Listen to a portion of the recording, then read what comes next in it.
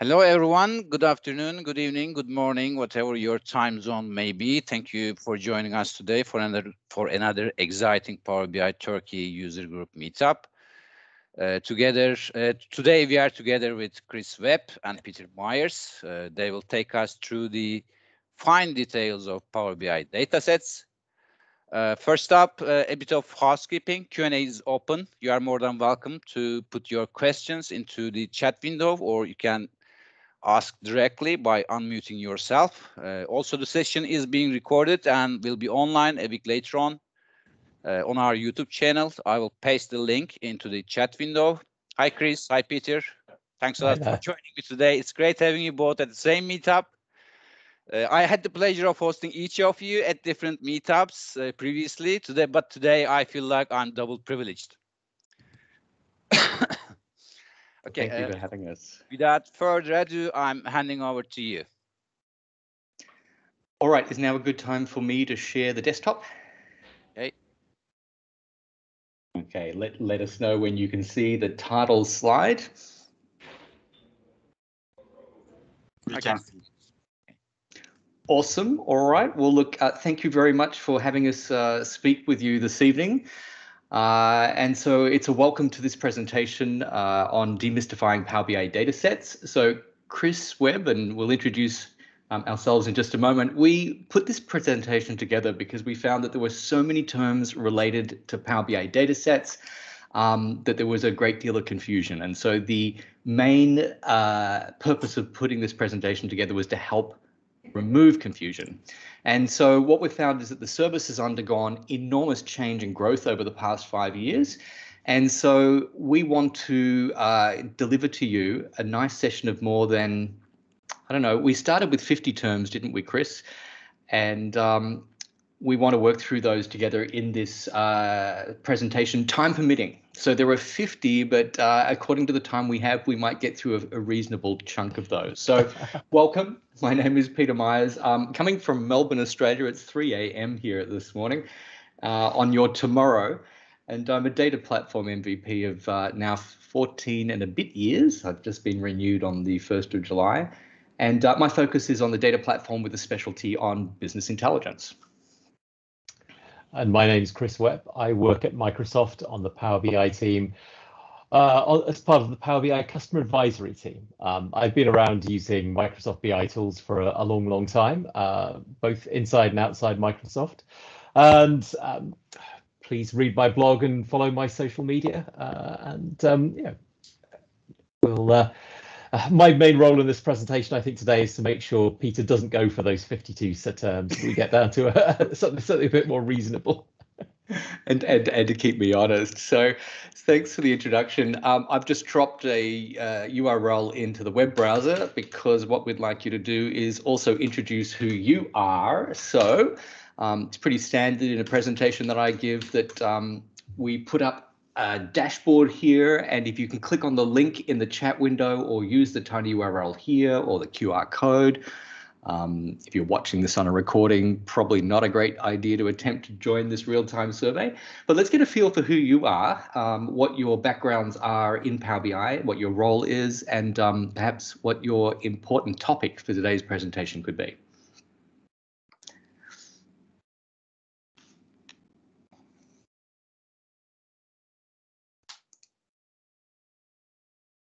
I submitted. ah, the results are We're coming in already. Good. You know, when you're presenting to a virtual audience, it's just not the same, is it, Chris? It's like yeah, exactly. You never know who's there really, or who's paying attention. Or if anybody's there, you know, it'd be. Yeah. It'd well, be at least we can see Halil's paying attention. So Chris and I presented this several times together. In fact, we put it together originally as a Microsoft webinar, and we'll share that link with you if you would like to watch the original recording. But I'm going to say that this presentation has matured um, considerably since we first put it together some months ago. Um, it's been improved incrementally uh, presentation by presentation. Um, the reason I say this is that next week we're presenting it to my home city of Melbourne, and um, I've just been told yesterday uh, it's an in-person event. I'm like, I'm in shock. What's an in-person event? It's been so long.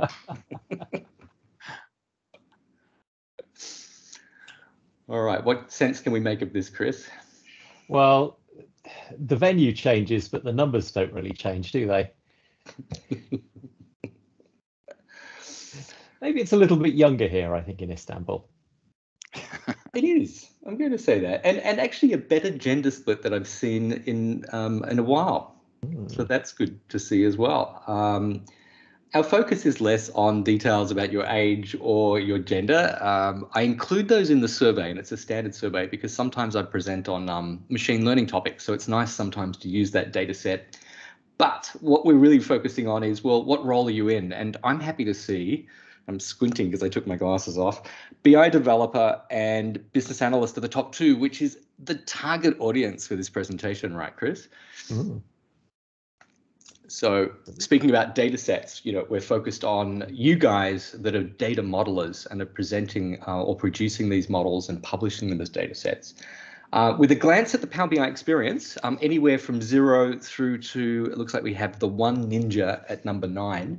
So welcome to the beginner. Um, we will be beginning at beginner pitch about the fundamentals of data sets, but we will be ramping up into more advanced and complex topics. So do stay tuned for the whole presentation. With a quick drill through, um, we can see that the important topic that you've asked us to present on today.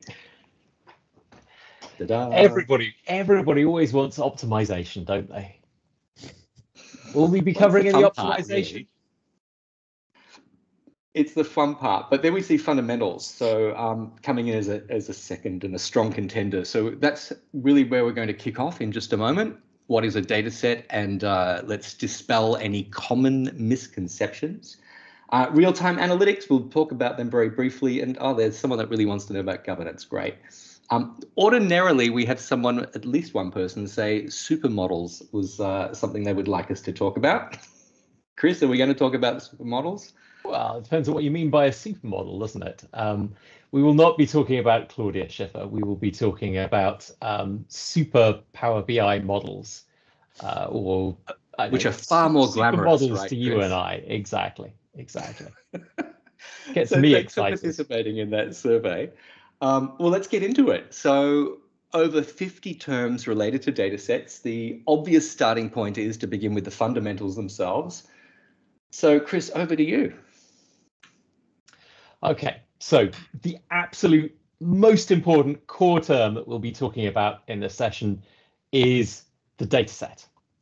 The data set is the center of the universe as far as Power BI is concerned. It's the artifact within Power BI that is the source of your data. It's stored in a workspace. Uh, it can be accessed from lots of different places across workspaces, but every time you've got a Power BI report, you'll have to have some kind of data set at least. So let's uh, give you an example of a data set, right? So here in Workspace A, a data set that supports two reports and a dashboard. That's pretty straightforward. But what happens when we have a second data set or a second workspace? And uh, it has a data set and a report. Um, that's perfectly reasonable. But look at this reports and data dashboards can use data sets from any workspace. Um, so the takeaway there is that as that primary artifact that drives the data visualizations of Power BI, um, these resources can be accessed across workspaces. Um, so the fact is, if you have permission to access the data set, um, then you will find it inside what we now call the datasets hub in the Power BI service. Where is that found, Chris? Um, you can find you can navigate to it from the Power BI homepage now, uh, and there's a link to it directly from the yes. there's a link to it from um, one of the icons along the the left hand side of the homepage. It only appeared right. in December. So the, uh, I cannot remember what the icon is exactly. Um, let me. I of course, of course, uh, I have. Uh, it is the little database icon that it mm, takes you I to the we see it. We see it here. We see the orange version of it here. So exactly. that that icon generally represents a relational database, but it becomes the standard icon for a data set. Um, so there's the most fundamental thing. Power BI as a data visualization service is nothing without data. And so the data set really is the driving artifact. But wait, Chris, our fabulous furry friend, paginated report Bear, has got a, a point here. But what about paginated reports? All right, so this is the point where I'm the guy from Microsoft who has to come and apologize because we always we always screw things up with naming. And the fact is that in Power BI there are now two things called data sets. We have the data sets that we are talking about in this session, but we also have things called data sets inside paginated reports. The reason is that paginated reports are really the cloud-based version of SQL Server Reporting Services reports. And in SQL Server Reporting Services, we had a thing called a dataset, um, which was similar, but not the same as what we have in Power BI. Now we have SSRS reports inside Power BI as paginated reports. We have the concept of datasets there, but they are not the same thing as Power BI datasets. And if you're confused, I'm not surprised. I'm sorry, but um, we are not going to be talking about datasets in the paginated reports sense of the word here. We are talking about Power BI datasets. Indeed, and and while Chris has been speaking, I realised that I didn't put subtitles on. And Halil, is that something that's going to help the audience? Um, because um, I don't think so, Peter. So, so I'm, I'm going to put them on anyway because I'm okay. fascinated by the accuracy and how they they're so cool. So um, I put it on if that's okay. And Chris, to Chris's point, he's just explained that we've got this second term for data set. Do not confuse data set in the Power BI paginated reports with what we're talking about in the Power BI service. They are different things. And to make things really confusing, did you know in a paginated report you can connect a data source to a data set and then in the paginated report you can create a data set. So um, what we're saying now is forget about this concept as important as it is because everything we focus on is the Power BI data set. All right. We also have the concept of a data model. Now, a data set is a real thing. You can go into the Power BI service and you can see something listed as a data set. But something else we want to talk about in this session is the, the concept of a data model. Now, a data model is uh, very closely related to a data set, but it is it's an abstract term. It's something that that doesn't exist in in real life, but things are data models. Now, what do we mean by a data model? A data model is something that can be queried by a user or a report. Now, those things can be queried using DAX or MDX, and we will talk uh, in a moment about the real world things that are data models. You might also hear people referring to semantic models, um, which I think are, are more or less the same thing. It's just a layer on top of your data where some modeling takes place and which allows you to build reports and run queries more easily. Right. So it leads us to the next definition about being a queryable resource. That what is the type of query? And there's a special type of query called an analytic query, and it has these three phases of filtering, grouping, and summarizing. In fact, when you look at any visual on a Power BI dashboard or a Power BI report, it has undergone at least two, if not three, of these phases. So what do we mean by this? So consider an example where I've got all of this data describing my company's sales activities, and there's thousands of rows of data. And I just need to answer a single question. What were the quarterly sales in 2021? Well, to answer the question, that data needs to be filtered, it needs to be grouped down to quarters, and it needs to be summarized, perhaps by summing the sales amounts together. So in this example, we could design a report with perhaps a slicer on the page to filter by the year, and that narrows down to a subset of data. Then we could choose a visual type, maybe like a column chart, which has groupings along the horizontal axis, and then the summarization by summing sales amounts together. This is what we mean by a model that is queried and how it's queried in Power BI. Now, as I said, there are there are multiple kinds of things that can be data models. And in the world of Microsoft BI, there are there are two kind of main flavors of model. There are tabular models, and tabular models are tabular because when you look at the way the data is modeled, it's modeled as a series of tables with relationships between them. Now, in Power BI, all models that you work with are tabular, or at least they appear to be tabular as well.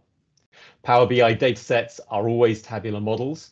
You have analysis services tabular that is also tabular, uh, unsurprisingly, and Azure Analysis Services is also a form of tabular model. So where do we develop these tabular models? Well, for a Power BI developer, it is the free tool that you can download and install on any Windows machine being Power BI Desktop. So it is both a data modeling tool and a report authoring tool. So it's actually two tools together. And what I love about the reporting side is that often the report helps me validate my model design as I develop. But with a focus on the tabular model as Chris has just introduced, the primary object is the table. And where do the tables come from? Well, the technology of Power Query, which is there to connect to a broad array of sources and to allow you to use a, a, formula language to transform source data into the table of your heart's desire. All right, so we create these queries that, when applied, result in tables in the tabular model. And yet, there's another approach um, which is that we can use DAX as an expression language to also add tables to our model. So there is your foundation of tables, thus why we call it a tabular model. Tables comprise columns, they can be calculated. Where you have multiple tables, you will have relationships to support filter propagation between them. For usability, we have hierarchies. Those hierarchies have levels that are just columns that allow navigation from high levels of granularity to lower levels like year, quarter, month, today. And then lastly, that all important part where we summarize. Remember the analytic query filter groups and summarizes. Key to summarization is that measure, some expression that summarizes the data in the tabular model. So we, we just said that tabular models comprise of tables linked together with relationships, but they can't just be, well, they could just be any old collection of tables. Um, but in the world of Power BI and in BI in general, um, there is a particular way that you know, most people think that modeling should be done. And that's using a technique called dimensional modeling. In dimensional modeling, you have two different types of table. You have fact tables that contain information about transactions or activities, contains data that can be summarized. And you have dimensions which contain more information about the transactions or activities that are stored in the fact table. And because of the way that uh, the data gets modeled when you take this approach, uh, you tend to have one fact one fact table surrounded by multiple dimension tables, and it looks like a star, which leaves us with something called a star schema. And here on the visual, you can see we've got a fact table called fact reseller sales, which contains sales transactions from resellers. And for every transaction logged in this fact reseller sales table, we know the dates, we know the product that was sold, we know the employee who did the selling, we know the reseller, we know the sales territory. These are the dimension tables around the site. Now, we don't have enough time to go into any detail about star schemas or dimensional modeling, but this concept is incredibly important to Power BI and not just for theoretical reasons. This is going to be the key to your success with Power BI because so many people go wrong with Power BI because they do not model their data correctly. So understanding right. dimensional modeling is really important. Yeah, and so while this theory, while this theory comes from relational data warehousing and BI developers that are potentially producing these massive and complex and and year-long projects to produce there is so much we can learn from this to optimize and produce useful models. So just to reinforce this point about the analytical query, those dimension tables are there for filtering and grouping, and the fact tables are there for summarization. So there are other concepts we would like you to be aware of. And as Chris has well pointed out, that this is not a session on star schema, but on your time, uh, we'd recommend that you also research topics like granularity, dimensionality, surrogate keys, uh, and also measures. And now might be a great time to also give a plug to the um, documentation that Microsoft have uh, when it comes to Power BI. So uh, for example, um, we're suggesting if you want to know about star schema, that we have, I really need my glasses on because I can't see. Um, I had preloaded this page and I just can't find it. We'll come back to it at the end of the session, but there is an article that talks specifically to Power BI developers and the essence of what you need to know about star schema to produce optimal models. All right, we'll come back to that link later on. So moving on to the next terminology that we would say is an important fundamental to know about data sets, um, I'll talk about fields. So field is one of those terms that you hear come up because we have a fields pane. But what we like to make clear is that the field is not really a modeling concept. It is a perspective of the model that is for report authors and how they map the resources of the model to the visual. So when you look at the fields pane, a column or in fact levels of a hierarchy and even measures are all collectively known as fields, right? So as data modelers, we do not talk about fields, but from a report consumption perspective, we do. So another important concept in the world of Power BI is the concept of a data flow. So data flow is something that I find people often get confused with data sets. They say, well, when should I use a data flow? When should I use a data set? Well, the answer is fairly straightforward. If you are building a Power BI report, you always need a data set. There is no way of getting away from it. You have to have a data set. Now, the data set, as we will see in a moment, needs to get its data from somewhere. Usually you're connecting to some external source like a relational database like SQL Server, or maybe a CSV file, or maybe an Excel file or something. But you need to get the data from somewhere. A data flow is just another data source. It's another place that a data set can get its data from. Right, and, and perhaps we'd say then it's carefully prepared data that is preparation for a data set. So as Chris has just described, there is a misconception there that some people think a report can query a data flow directly. And the fact is this is not possible.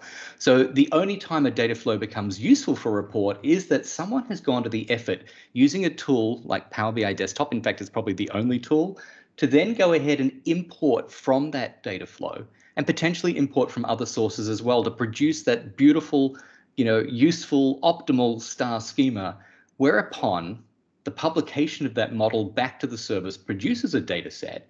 And then what you'll see then is that the data flow is useful because the data set will periodically refresh from it, and then we see the report can query the data flow directly. All right, well, that brings us to the end of the very easy topics, the fundamentals of Power BI. Um, so we can now move on to the next section, which is that of hosting of models. So where can datasets, where can models live? So we've talked about datasets. Um, datasets live inside the Power BI service. So therefore, we can talk about internal hosted models, data models that are inside Power BI. And a, a data set is always going to be inside the Power BI service. But, but its model may not be. So in this case, the model is actually hosted within the capacity of Power BI itself. Now, if we have internal hosted models, then it only speaks obviously that there must be external hosted models. And those two scenarios are in fact where that tabular model, or not necessarily tabular model, is hosted externally using a different service like Azure Analysis Services, which Chris has already said is tabular, but of course SQL Server Analysis Services that supports two different um, modeling technologies that Microsoft have developed. Um, of course, there's tabular, but the original, Chris can talk to it best because he's spoken and blogged about it for decades, is the multidimensional model, also known as Cube. Um, and so when Power BI connects to these external models, which it certainly can do, it introduces a whole new term known as live connection.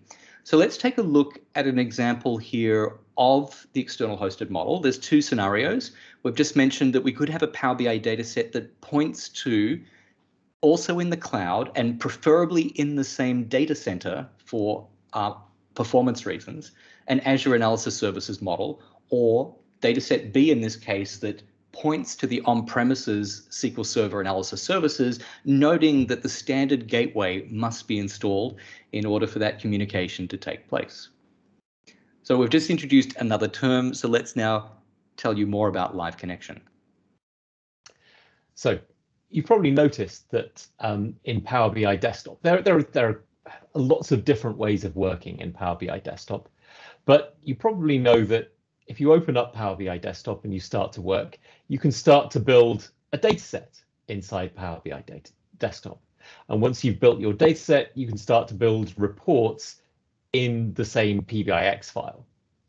Alternatively, if you want, you can open up Power BI Desktop and you can connect to a data set or an external uh, model, Azure Analysis Services or on-prem analysis services. And then you don't have to build a data set inside Power BI Desktop. You don't need to do any modeling. The modeling has already taken place. You can just connect to the existing published data set in the Power BI service or analysis services, and you can start to build your own report. Now, in that situation, you may have noticed that in Power BI Desktop, it tells you you've got a live connection. That's where you've got a report and it's connected to a Power BI dataset or an external model that isn't in the PBIX file you're working on. Mm. So this is a time where Microsoft, I think, have sort of overloaded the terminology. It means two different things, as Chris is saying. So it's either a report connection to a data set, or as we've already described, the data set is pointing to an external hosted model. So let's be very clear about this. The first scenario is a report authoring one, whereby the data set is already in the service, and yet you open up Power BI Desktop and you create a live connection. So in fact, we're connecting to what's known as a remote model, and we're going to talk about remote models later as well. This enables you to produce the most beautiful report you can imagine, and then when you're ready, you're going to publish that file so that the report then is also in the service, and then it just queries the data set in the service. Of course, the second scenario that we've already described, that a live connection can mean that the data set is pointing to an external model, and that your report can query the data set, which really passes directly across to the, uh, in this case, Azure Tabular Model.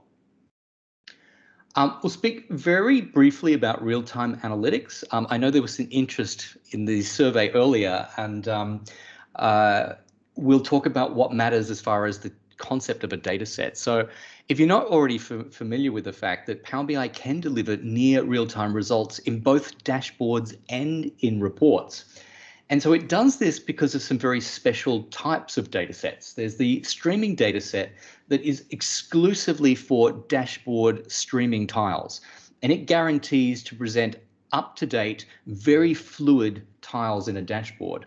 And yet there's a second type of real-time dashboard, which is the push dataset, which is very closely related to the import tabular model that we've already talked about.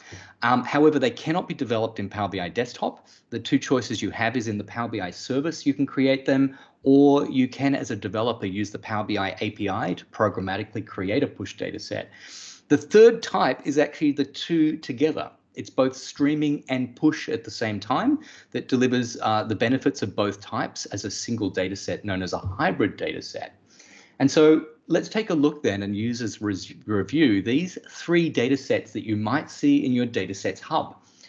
The per capita sales is an internal hosted model. Now, this is what's interesting is that there's no icon or even descriptive label that tells you what type of data set is really in the Power BI service for you. So I just have to tell you that it's an internal hosted model. And the Finance Cube does suggest by its name that it's a cube, so it's multidimensional. So the only type of multidimensional model that Power BI supports directly um, or for Microsoft anyway, is an external hosted model with a live connection to SQL Server analysis services. And then we have the call center and the FX rates and device telemetry being those different types of real-time data sets. All right, so in my thinking, there are these five different possibilities of what your data set could be. There's one other topic quickly to talk about that real-time reporting is achieved through a property on a report page known as automatic page refresh. And when enabled, it can deliver uh, rapid refreshing of pages and automatic refreshing. Um, it is driven by a specific model framework that we're about to talk about because it requires direct query modeling to achieve that. So without spending any more time on real time, I love the topic so much so that um, the PM of real time, Miguel Martinez and myself have already produced a webinar. And so we'll invite you to register and watch this webinar on demand. I include the URL here, but just to let you know, we'll share the URLs with you at the end and make it possible for you to download this presentation that has the URLs as well.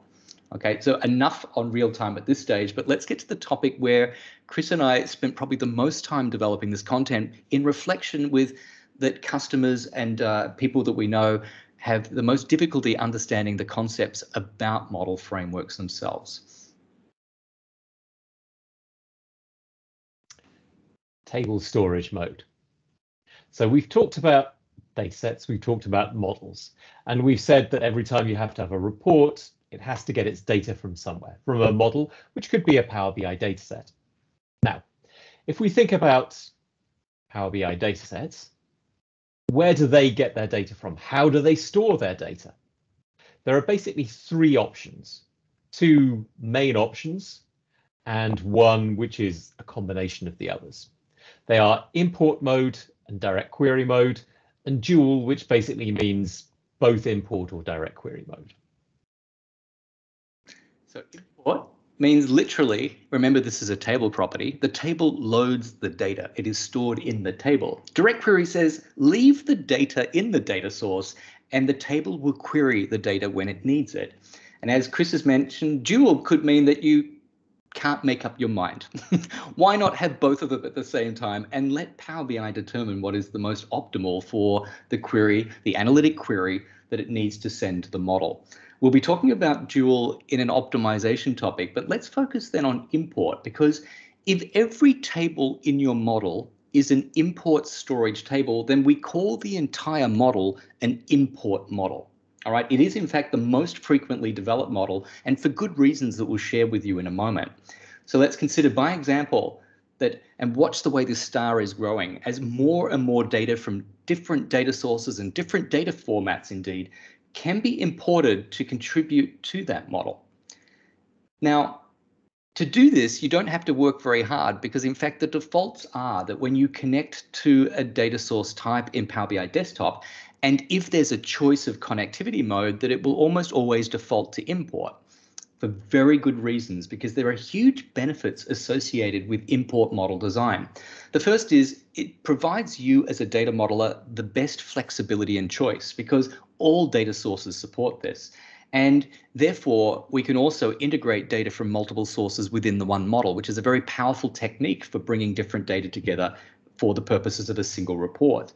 There is no limitation on the DAX functions, nor indeed the Power Query functions that you can use to prepare your model. There's support for calculated tables, and almost always it's going to deliver the fastest possible performance. And why? Is because when data is imported and loaded into tables, it is compressed and it is also optimized and indexed for the fastest possible filtering, grouping, and summarization at query time. But there are always some limitations, aren't there? Well, in import mode, your data is held in an in-memory columnar database format. And because that data is held in memory, there have to be limits on how much data you can work with. That varies depending on whether you're using Power BI shared capacity or Power BI premium, but the general restriction you have is about one gigabyte of compressed data in memory. So you can't load all of the data you want. There will be a limit. The second main limitation is that if you're copying the data from your source into your data set, and the data in your source changes, well, you have to copy that data all over again. So you will need to refresh your data set to get the latest version of the data. And that means that if your data is out of date, well, you know, you may not be making your decisions based on the most recent data. That isn't usually a problem, but you've got to get that data. And of course, getting that data, copying the data could take some time. And of course, that might take hours and hours. If you have really large amounts of data or you have a very slow data source. And by default, as the slide says, but data data sets will when you refresh a data set you're going to copy all of the data from the data source. Now we have something called incremental refresh which for certain sources means that you can try and only reload the data that might have changed. But you know, that's something you will need to set up and that's not something that's easy to do on all sources but generally you'll find that the benefits outweigh the limitations for import modeling. Okay, so Absolutely. most models, if, if indeed all models that you're likely to develop might use import mode. But the other end of the spectrum is that a direct query model is defined by the fact that all tables in that model use a direct query connection to a single source group.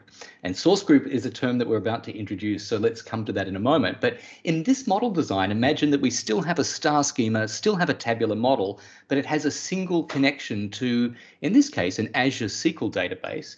And therefore, what happens is that when a Power BI report uses this data set and the visuals query the model, well, those queries are sent and passed through down to the Azure SQL database.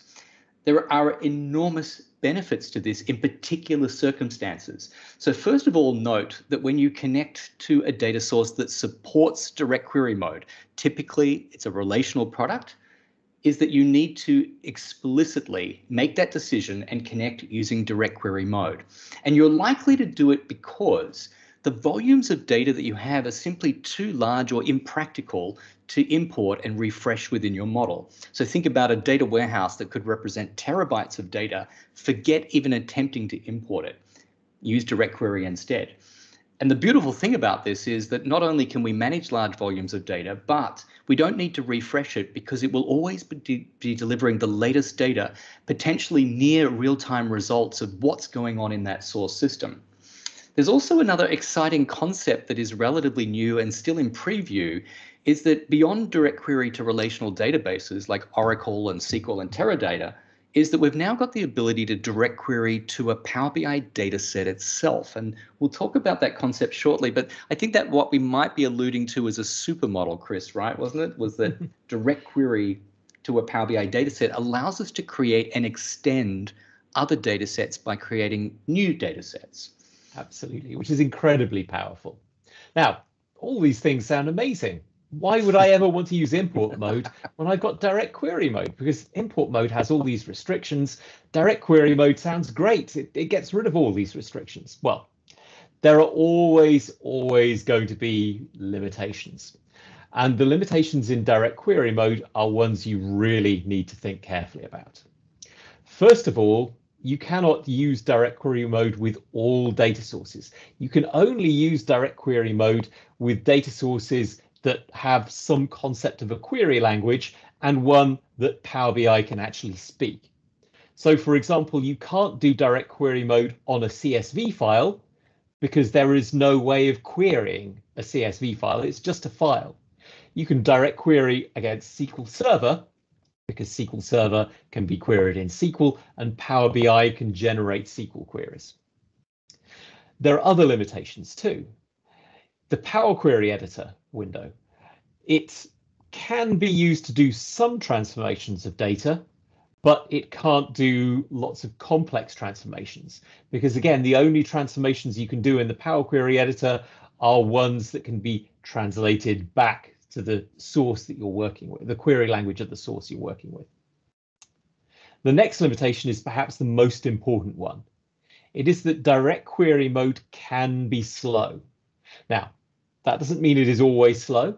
With a bit of careful tuning, uh, and if you are fairly restrictive with your scenarios, then yes, you can make direct query mode perform really well. But it is very easy, much easier than with import mode to end up with slow reports. And then the last thing to mention is that if you're running a report and Power BI is generating all of these SQL queries against your relational data source, and your relational data source is actually a transactional system like an ERP system or a CRM system, those SQL queries can slow down the data source and prevent it from doing the things that it's meant to be doing during the day you don't want your ERP system to be brought down because somebody ran lots and lots of um, Power BI reports on top of it. So you have to be very careful with this. You could end up with a very unhappy DBA. And so while the DBA might have granted you read privileges because they understand that you're building Power BI models, their understanding is that you're periodically and perhaps infrequently importing data from their source system. Um, it would become a big surprise to them to understand that a very popular report that you distributed to everybody in the organization is an entirely different workload that um, the database was not resourced for nor was optimized for. So it's actually a courtesy um, if you are going to build a direct query model that you collaborate with that database owner and you work together to produce an optimal solution. Awesome. Okay, well, that brings us to the definition that we did sort of introduce before, because we said a direct query model had a single source group to a single direct query connection. Now, therefore, what is a source group? And it really is a set of model tables that are related to a single source. But there are two types of source group. There is a source group that represents all imported data, including calculated tables. And then for each direct query connection that you have, there, there must be one source group. Um, you may be familiar with this term already, but it used to be called Data Island, but documentation at Microsoft have recently relabeled it. So what does this mean? It means that a model can have multiple source groups.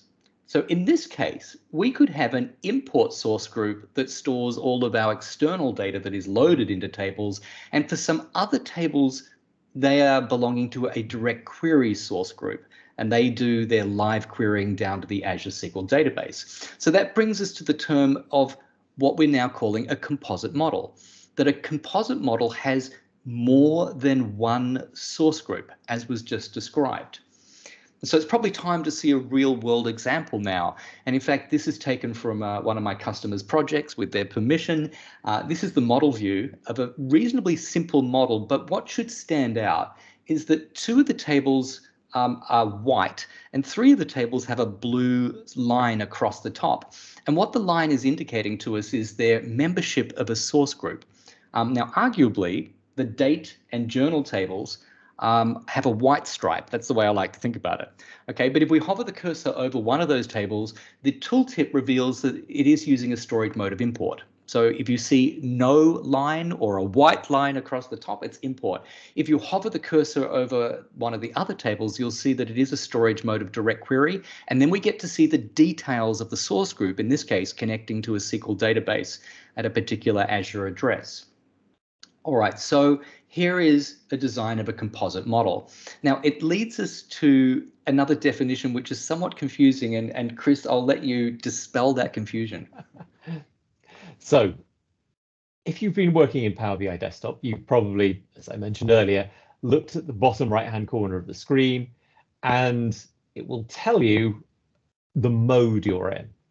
And by default, if you're using import mode for everything, you see nothing there. That means that everything is in import mode. But you may also see some other messages there.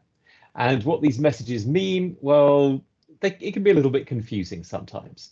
So what we've got here with this table is something that explains what all of those messages means. So if you see in the bottom right hand corner the message that you have a live connection, all you know is that in Power BI desktop there is no data set that you're being you're designing. You are connected to uh, a Power BI data set published to the service or an analysis services data model. Um, and that could be direct query mode, that could be import mode. We don't know. We don't know how many source groups there are. All we know is that we are connecting to a data model somewhere else. If you see nothing, as I said, that tells you that you have a data set in your PBIX file, and that is in import mode. Okay, if which means have, every table is in import storage yes, mode. Every table is in import storage mode. If you see direct query, well, um, it's a little bit confusing because it means that the the data set that you're working on in Power BI Desktop, it could be pure direct query or it could be a composite model. There could be more than one source group as well.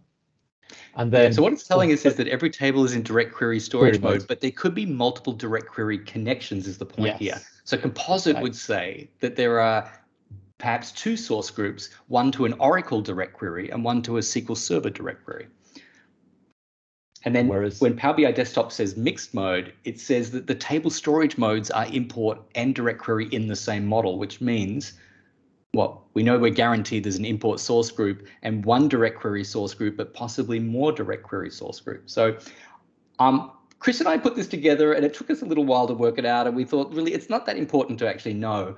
Um, although it's just a bit of conflicting information because Power BI Desktop has a different concept of informing you of what your model is like, and yet analysis services and you know its um, mature technology stack has a very different concept about describing frameworks. So don't get too hung up on it. Um, we think the stronger takeaway is model framework. Don't don't memorize Power BI desktop mode. If you're doing an exam for Microsoft on Power BI, I doubt they would be testing Power BI desktop mode, but they most certainly would be testing framework. So back to this model. Chris, help me out. How many source groups well, I can see two different colors along the top of those tables. So there must be two different source groups there. Absolutely. What's the model framework? Well, because there are two different source groups and one of them is white, we must have a composite model. So there's going to be, well, actually that's not true, but yes, there are two different colors that's got to be a composite model. Yeah, so what matters is a composite means you've got more than one source group. So Chris is right. The fact that we see white and blue, two source groups. And the fact I have to think about this shows how complicated and confusing it can be. And he does it every day for his job. Uh, what's the desktop mode? Well, that has got to be mixed because we've got some import and we've got some direct query. How many data sources? Well, there's one direct query source group there, so that's one data source. And then we've got two tables in import mode, which could be the same source as the direct query data source. They could be two different ones. They could be one different one. Um, it depends. It does depend. In fact, the diagram doesn't give you enough information. The only way to answer the question is to open up the Power Query editor and to look at the journal and date queries and then backtrack because they might be dependent on other queries. So the answer is there could be one, two, three, four, five, six. We don't know. Okay. Uh, we know at minimum there's one. And in fact, the answer is one. And it might surprise you that why would you build a model of the same data source, but import some of its data and use direct query for another part? Um, as I said earlier, this is actually a real example I've done with a customer. And it's simplistic reporting over their general ledger transactions. The journal table in this instance stores all of the actual transactions that have been posted to the general ledgers in the day-to-day -day accounting activities. And yet, as the other table names allude, that there are forecasting and budgeting scenarios. Now, what happens is that they like to meddle with those numbers from time to time and adjust and revise their forecasts.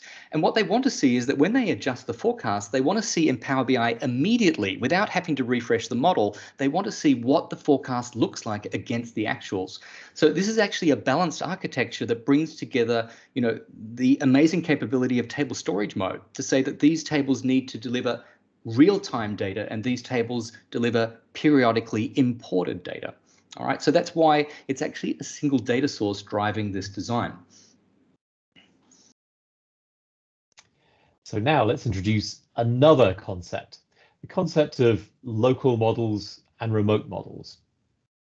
Now, this is something perhaps that that is did we make it this up piece? I don't think so. I think it, it, it, it exists as a concept, but a local model is either the model that you are developing in Power BI Desktop when you are developing a model in Power BI Desktop, or it could be a relative term connected to this idea that we talked about earlier of direct query to Power BI datasets. Because if you have a dataset that in turn connects to another dataset through direct query, then there is one dataset connecting to another. And the, the dataset that is the one that is doing the querying of the other dataset could be thought of as the local model. And if you have a local model, that then suggests you have a remote model, a model that is somewhere you are connecting to. Right, and indeed that's the case. So it's really a proximity thing. Like, is the model near or far in a way? And we already talked about live connection when developing a report.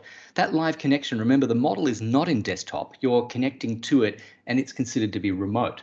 Now, the reason that these terminologies are becoming now important is because of this new concept of the super model, right?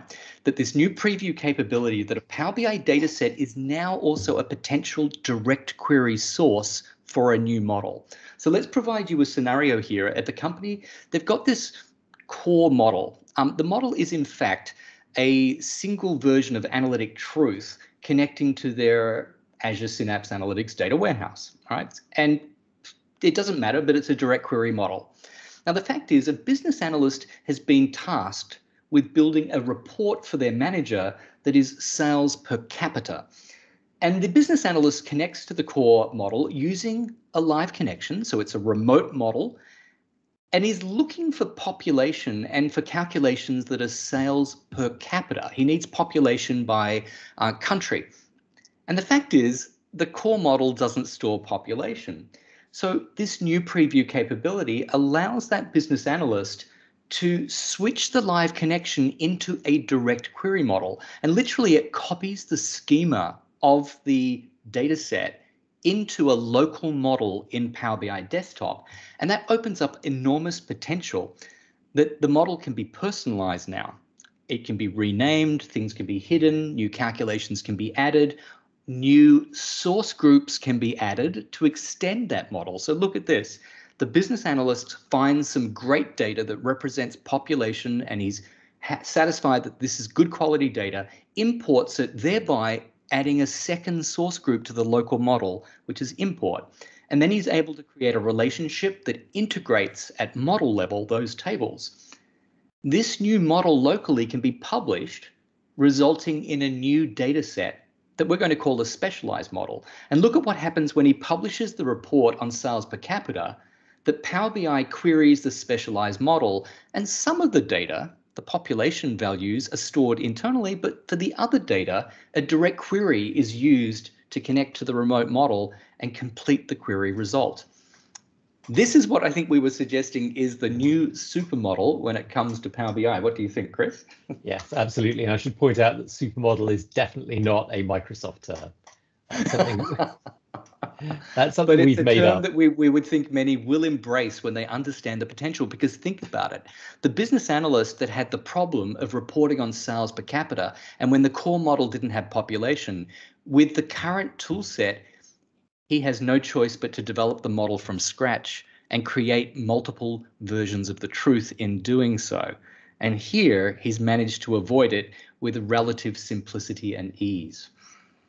Absolutely. Now, this is where remote and local start to make sense because what you can achieve is you can have a chain of models. Microsoft will allow up to three data sets to be chained in this way. So dataset C can direct query to B and dataset B can direct query to A. So to reinforce what we've said about local and remote, consider report B that queries dataset B.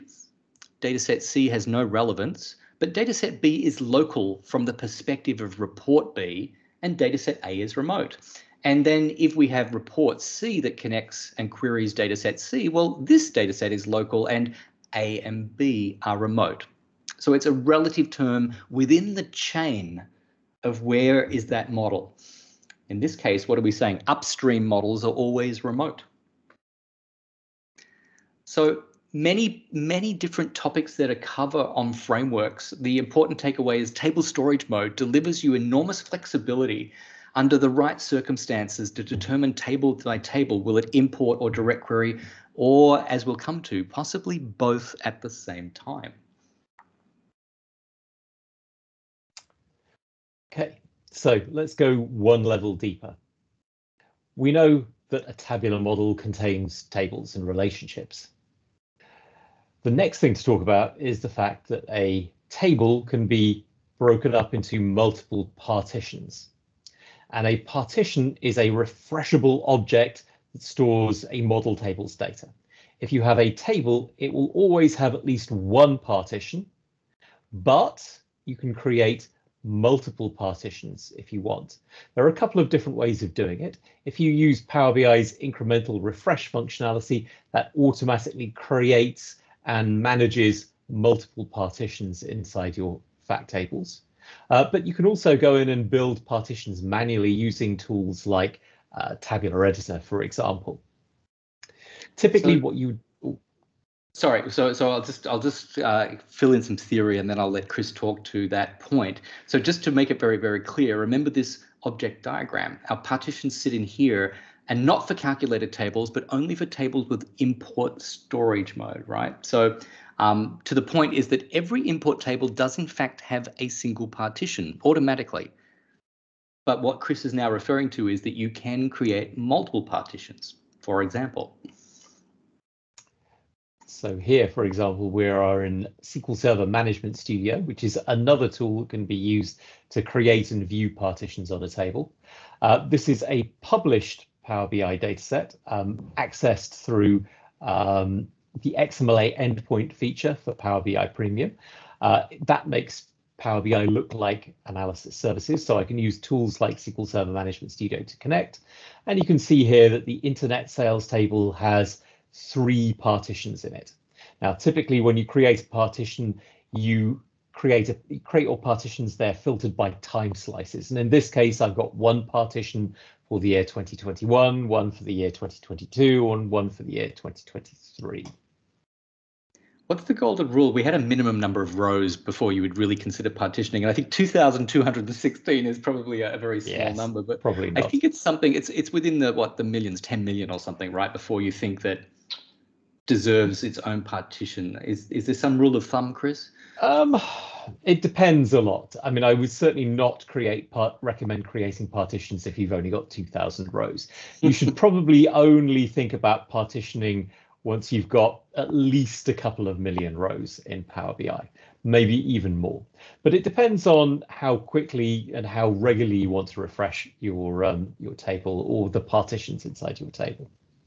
Right, because that's key. Is that you're you're introducing a partition strategy to allow refresh to happen as quickly as possible and to minimize impact on source system. Now, beneath the covers, and Chris was mentioning Tabular Editor. So when you look at the partition using a tool like this, um, this reveals the secret of how it happens because you've got some filter in here that says for that 2021 partition, um, ensure that it only ever imports data from you know that time slice. All right, so that leads us to a very new definition. Uh, so new, in fact, that it's a coming soon feature and not even available to us in preview. But the announcement is enormously exciting uh, because the concept of a hybrid table now opens up to the point that that what you understand as table storage mode shifts to become partition storage mode, meaning that a table can comprise partitions of different stores. They could be import or direct query. And just as one example here, think about the enormous potential of delivering real time, rapid responses because most of your history has already been imported and we're satisfied that it will rarely change. So we don't need to import it again or infrequently.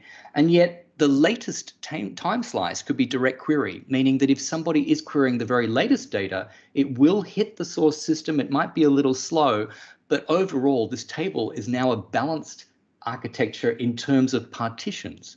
All right, so I just think this is huge. The fact that we've got this degree of control as data modelers to say that a single table can use different storage modes. It's like we've never had this before, Chris, is that right? Not in uh, Power BI. Uh, if we go back a long time to analysis services multidimensional, we could do this. Um, well, multidimensional has done 20 this years ago, 16 but... years, and, and, it's it has the concept of uh, what do we call them? Uh, measure groups, and uh, uh, sorry, is it measure groups? Now I'm confused. as in that the um, we could use ROLAP or MOLAP. So it really is now the equivalent of what multidimensional has provided us for over a decade is now coming to tabular. So something else to mention, um, we talked about direct query mode and import mode earlier. Uh, there is this third option called dual storage mode. It isn't really a, a third separate storage mode. It's just the ability for a table in Power BI to switch between import mode and direct query mode, depending on what the situation requires. You know, there are going to be some cases where when you have a composite model, uh, a table needs to be in import mode, some in direct query mode.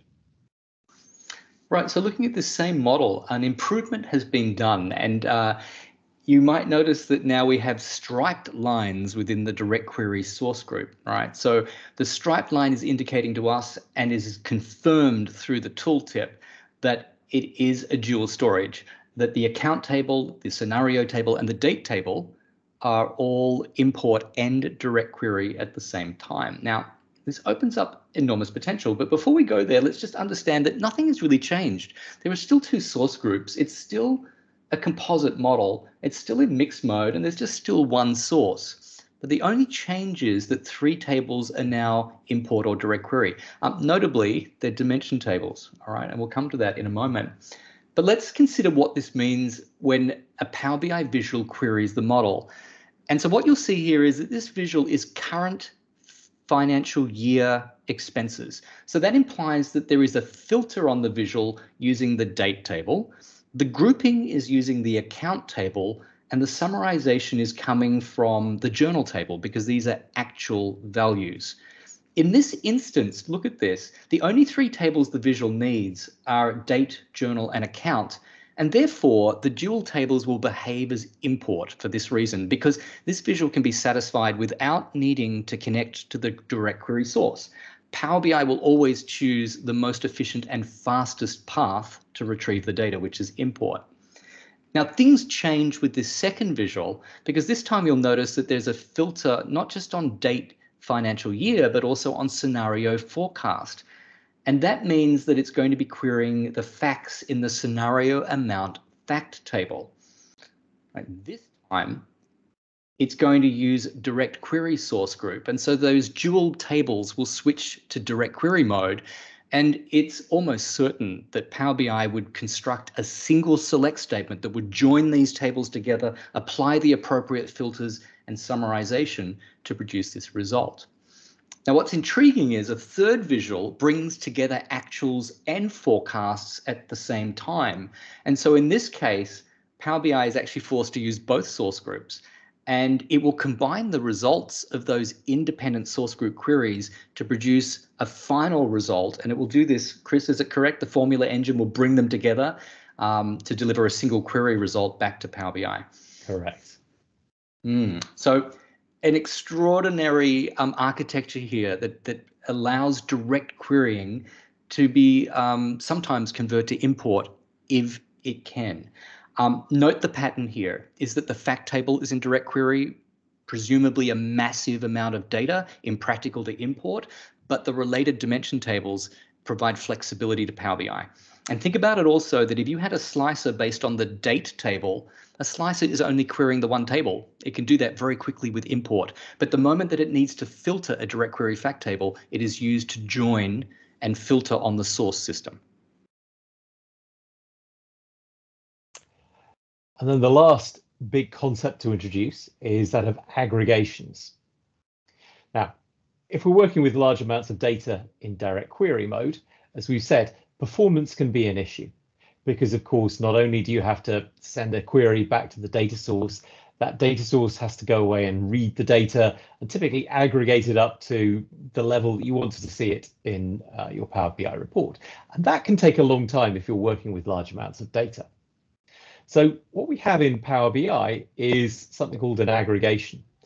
An aggregation is just a trick that we've used in BI since the beginning of time, which is why bother aggregating the data when your query runs when you can pre-aggregate your data somewhere when you're loading your data and then use that pre-aggregated data when the time comes to run your report. So what we've got here is a fairly simple model. We've got a fact table called internet sales and dimension tables called product and date. Now, if we were just using the internet sales fact table, we could run queries using anything selected from product or date. But we've also got an extra table here called internet sales aggregation. This is another table inside my dataset, but it's a special table which has been marked as an aggregation. As you can see, it's only got the order date column on it, and it's only got the sales amount aggregated column. So what we've got is data pre-aggregated up to the order date level uh, by sales amount. And if you go through the uh, Manage Aggregations dialog in Power BI Desktop, this is what you'll see. This is where it's specifying that this table is contains pre-aggregated data. It's pre-aggregated data from the internet sales table. So if somebody runs a query uh, or builds a visual inside your Power BI report, and if all they're doing is grouping by the date key from the date dimension table, and they are looking at the sum of the internet sales table, then the query can be redirected to the aggregation table and reuse those pre-aggregated values there. Therefore, the query and the report and the visual will be much, much faster. Right, so let, let's apply that to a couple of examples. So in this model, and by the way, Chris has mentioned that when you manage aggregations, that table is hidden and not just visible hidden, it is permanently hidden. It cannot be used even by DAX formula or row level security. It is used internally when Power BI can detect and redirect the query to use it as a, as a more efficient path. So as an optimization, look at what would happen here with a visual that is current year sales by product color. Okay, when grouping by product color, we can see that product table is a direct query table, right? So it's going to satisfy this uh, with three tables. In fact, it will use the direct query source group and go down to the source system to do this. The aggregation table plays no role because the and let's use those star schema terminologies, the dimensionality and granularity of that aggregation table have nothing to do with product or color. But should we be lucky enough to have a visual that says just grouping by month, what were the total internet sales? Well, in this case, the query can be satisfied by the dual date table and the imported aggregations, that the aggregation table will provide a very, very fast response over um, instead of using the internet sales direct query. So the takeaway here is that when you're using direct query fact tables, you can boost the query performance by using pre-aggregated results. And the other takeaway too is that that aggregation table doesn't need to be an import table as it is in this case. Your aggregation table can also be direct query, implying that your source system has a, a source of summarized data, maybe a materialized view in Azure Synapse Analytics that has been built specifically to boost the performance of these types of queries. Uh, there is one question, uh, Peter. How is pre-aggregation different from OLAP, or is it or is it achieving the same? That's a Chris, Chris question. OLAP, Chris question. okay, sorry. It depends on what you mean by OLAP. If you mean analysis services multidimensional, then yes, that does have the concept of aggregations, and it's very, very similar. All right, so that leads us to also a new coming soon feature. Again, just announced and only available for Power BI Premium is that there will be a switch you can turn on and you can tell Power BI to detect and automatically generate aggregations based on usage patterns of queries. All right, so um, while you can explicitly design your model for aggregations, stay tuned for a new capability that will auto detect and create them on the fly. All right, there's one other topic in optimizations, and that is uh, also a premium feature, uh, is that query caching is another thing that can boost query performance. It's not a modeling technique, but it's a dataset setting that says for Power BI, when you detect repetition of query, um, then cache the query result and share it across multiple users. All right. Um, how are we going for time? Um, because uh, I just want to make sure that we're not going over. over and I, and I how are we doing, are we doing for, time? for, time? I think we've got an hour. So, so how about how we about finish we on the refresh topic, Chris, and then we can uh, wrap up with any final questions? Fair enough. So we've talked about import mode, and we've talked about the fact that you need to bring data into your tables in import mode. That process of copying the data from the source into or import mode tables is called refresh. Now, refresh can be done on demand. You can go into Power BI, into the service, click a button, and then refresh your data sets. Or it can be scheduled. So you can go into Power BI and also say, I want to refresh my data set every day at nine o'clock in the morning. Uh, refresh operations can also be triggered from outside the Power BI service through an API. There is a Power BI REST API that allows you to refresh. Uh, there is also a Power Automate connector that allows you to uh, trigger that refresh API. And also you can go through the XMLA endpoint, which I mentioned earlier, which is something that allows Power BI to appear like an instance of an Azure Analysis Services. And other tools like SQL Management Studio can then be used to connect to Power BI and do things like refresh datasets. So remember, this is one of the limitations of import modeling. While import modeling has many strengths, this is its weakness, is that you must ensure that the data is refreshed. And my saying to my customers is, your model is only as current as the last successful refresh that took place. Uh, because sometimes refresh can be brittle and fragile, that if somebody changes permissions or renames a file, is that refresh can fall over. And one other thing I've, I've found that's very annoying when you have multiple sources is that it just takes one table to fail and the whole import refresh fails, right? So um, refresh is a really important topic to get right for your import tables. Um, Chris had mentioned earlier with partitions that um, that you could uh, set up an incremental refresh. Now, this is in fact a feature of Power BI, incremental refresh, that it simplifies partition management on your behalf to provide you efficient refresh of import tables, especially large fact tables, such that it doesn't need to remove and reload all history, um, that it can manage based on time slices, um, just partitioning, uh, just partitioning and refreshing the partitions that need to be updated. Uh, I'll talk about this one. It's a property on a data set. Uh, I'll keep it brief because I've noticed not a lot of people are using dashboards in Power BI, but it's important to understand that the architecture of dashboards is very different to reports. The dashboards and the tiles you see on a dashboard actually rely on cached information. See, the dashboard guarantees giving you the latest data as quickly as possible. But what does this mean if your data set is direct query or live connection to an external hosted model? Is that the dashboard caching doesn't really know when the data has changed. It's outside its control. So therefore, there's a property on the data set that says how frequently will dashboard caches be updated, anywhere between 15 minutes and weekly. And this allows you to control the right balance for keeping those dashboard caches up to date. Uh, let me talk to this one. Um, gateways are an important concept during refresh, but they're also important for live connection and direct query should your sources remain on premises. So the two gateways being personal and standard. Personal, of course, is just on the desktop, uh, but standard is something that would be set up by gateway administrators in your IT group. But let's be clear about the two purposes of gateways. So we've just talked about refresh, and so that when you've got import tables or partitions and the data resides on premises, you will need the gateway to support that secure communication from Power BI to the data. But the gateway serves a secondary purpose for live connections to external hosted models, so that's SQL Server Analysis Services, and for direct query connections to on-premises like SQL Server or Oracle.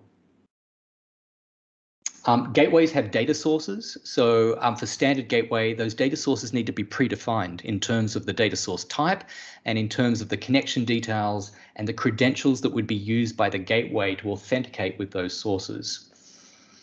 Um, so that brings us to security, but perhaps uh, we're running a little out of time. So um, what we've been doing is we've been saying, well, this presentation is completely downloadable. We'd like you to think that it's like a dictionary or a glossary of all terms related to data sets.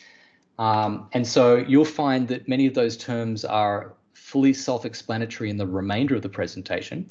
Um, and if you do want to see Chris and I talk through the presentation perhaps way too quickly, well, that's where we can share with you now um, the link to the webinar that we did uh, with Microsoft.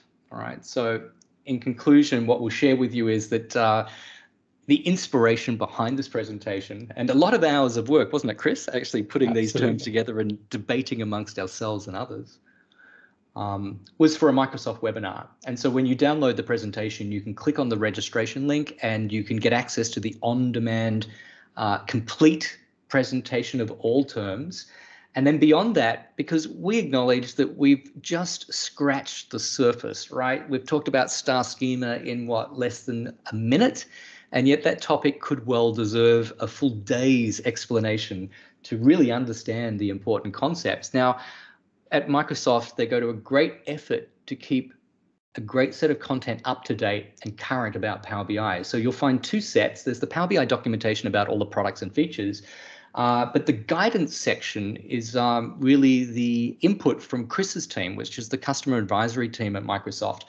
And so they work very closely with customers and they learn about pain points. And so to help other customers avoid them, we document the findings. And so the guidance section is well worth taking a look at.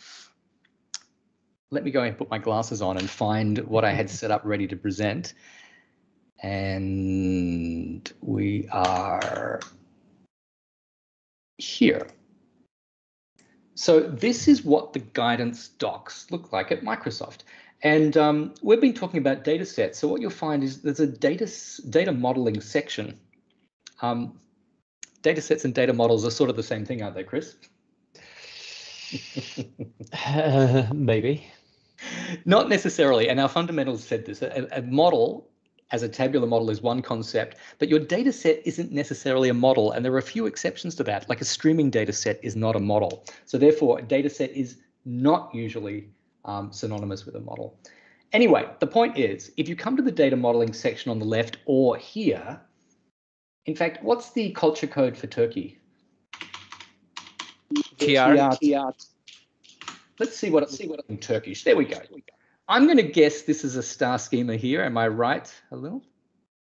Uh, yes. Uh, no. Awesome. So look at this. It's even in your native language. But all of those important concepts about star schema are all covered it, here. It was um, the previous link. Sorry. Uh, so which one? Oh, this is data reduction. Okay, so yes. this one here is star schema. I was going to say, where is that yellow star? There it is here. So this is a great starting point for you. Now that you understand what these terms are and their relevance, and hearing Chris and I stress their importance, then come here, read about star schema.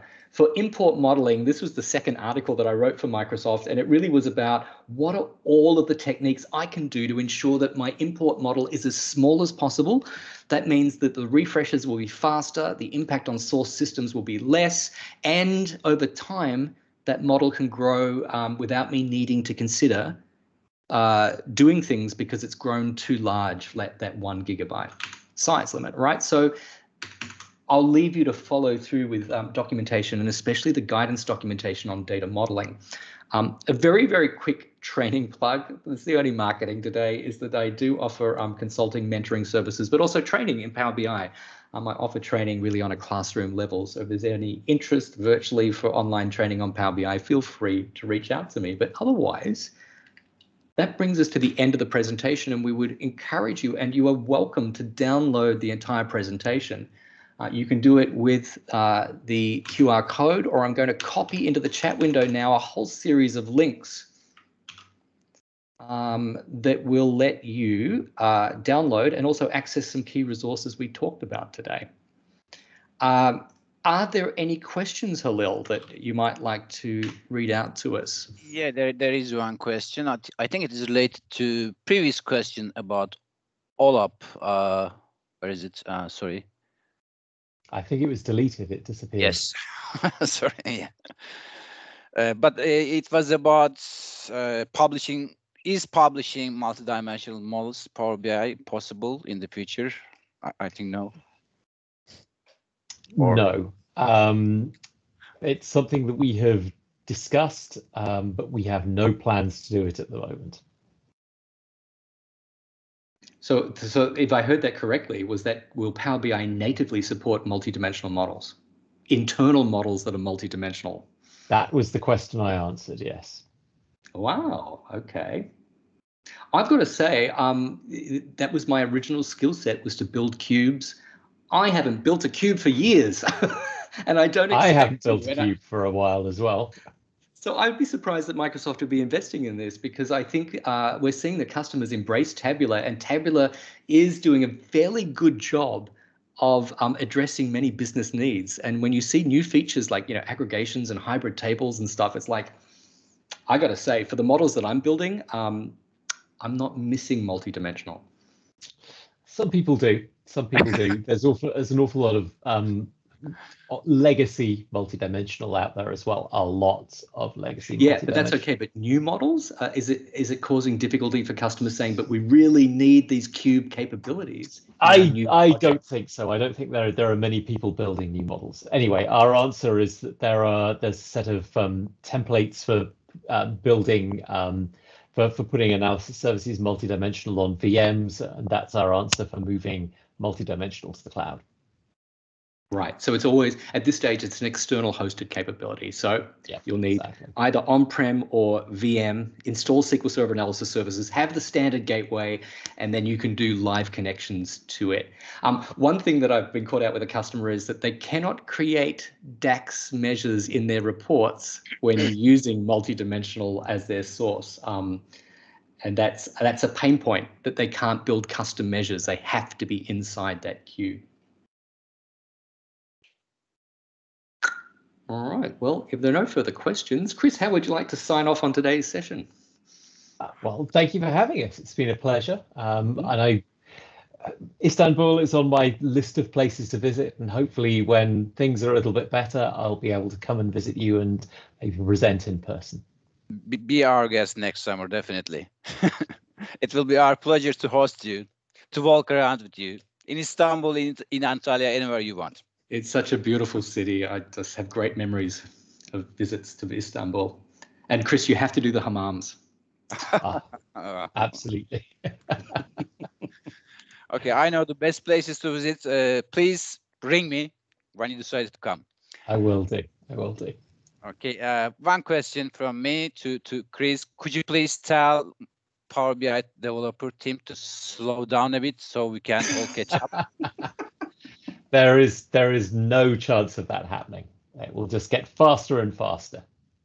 Oh, they're releasing too many features in a very short period of time. No one can, can consume.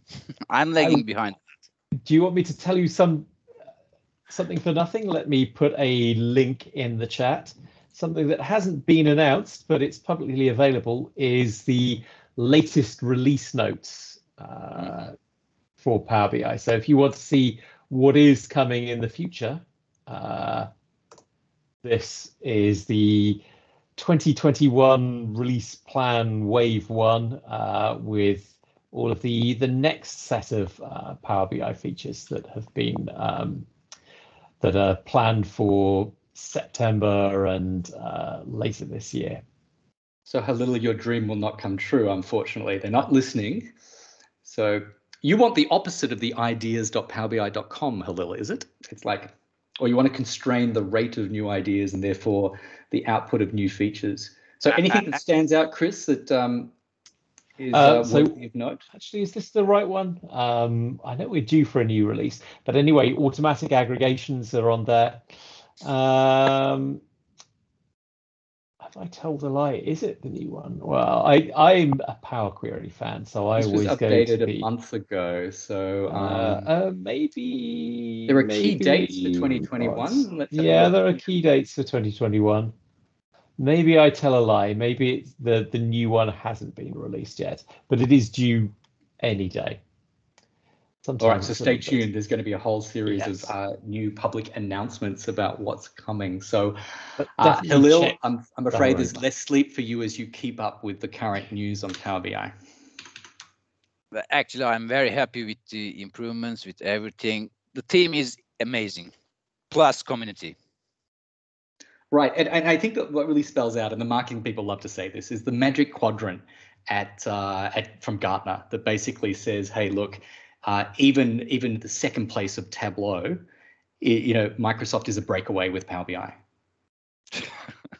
uh, no, truly, it, it's just when you look at the if you were to animate over time the Magic Quadrant, but to see that Power BI as a leader and its ability to execute on what it promises is um, is uh, fantastic. And what that suggests to people here on the audience today is that if you invest in Power BI skills, they're not going to go away. If you can learn all this hard, tricky stuff and become an expert on data modeling and data sets in Power BI, these are going to be valuable skills that will carry out throughout your career. I am assured of that. And as Chris might attest as well, that we've worked in this space for well over 20 years, is that you know these are mature technologies that are being embraced and used um, now and into the future. So there's our word of encouragement. Okay, any further question from the audience? Thank you, Abhinav, for pasting the link for release plan Q3. Uh,